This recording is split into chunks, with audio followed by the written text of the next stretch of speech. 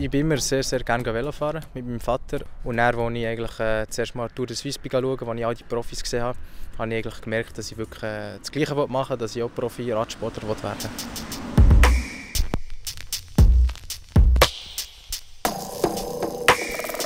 Einen guten Start in meinem ersten Profijahr, aber gleich auch gesehen, dass halt ähm, gleich noch einen recht grossen Schritt muss machen muss, um mit den Besten mitzuhalten bei den grossen Rennen. Und dann bin ich eigentlich selber wirklich überrascht, dass ich so schnell können, eben den, den Schritt machen und mir selber so ein bisschen bewiesen, dass, ähm, ja, dass, dass ich es kann, dass es drinnen liegt und dass ich auf dem richtigen Weg bin und jetzt einfach so muss weitermachen muss.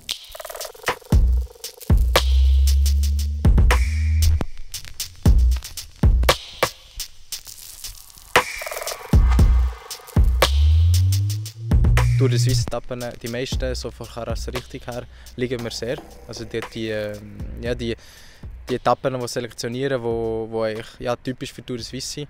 Unabhängig von meinen Zielen, von meinen Saisonzielen, wird äh, Tour de Suisse ähm, immer ein, ein riesen Highlight sein, auch dieses Jahr.